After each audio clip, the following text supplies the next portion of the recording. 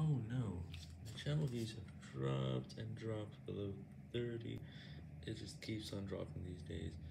I can't make any more videos to help me, and there's just no more things I can do here. Come on, I really wish that the channel could get over 30 views per hour, but when?